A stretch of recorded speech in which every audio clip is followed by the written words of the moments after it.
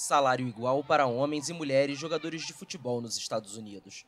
A Federação de Futebol do país e um grupo de atletas anunciaram nesta terça-feira que chegaram a um acordo para encerrar uma ação coletiva.